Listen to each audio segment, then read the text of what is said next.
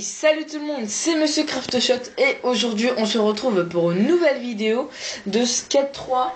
Donc euh, Skate 3, un jeu de skate. Euh, en fait euh, je fais cette vidéo juste après que j'ai fait l'IP Jump sur le 4x4, donc ma vidéo précédente.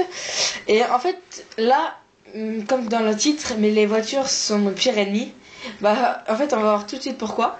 Parce qu'en fait déjà je m'accroche je à une voiture.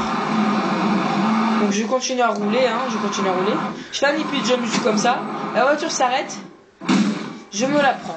Alors vous allez me dire oui mais tout le monde s'est déjà tapé une voiture. Alors là un gros bug je vole à cause d'une voiture encore une fois. Alors là en fait je veux me faire un, coffin et passer en dessous de la voiture. Je me la tape.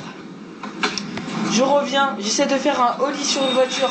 Je me viens, je me tape, mon skate se tape la deuxième voiture plus moi. Je me je.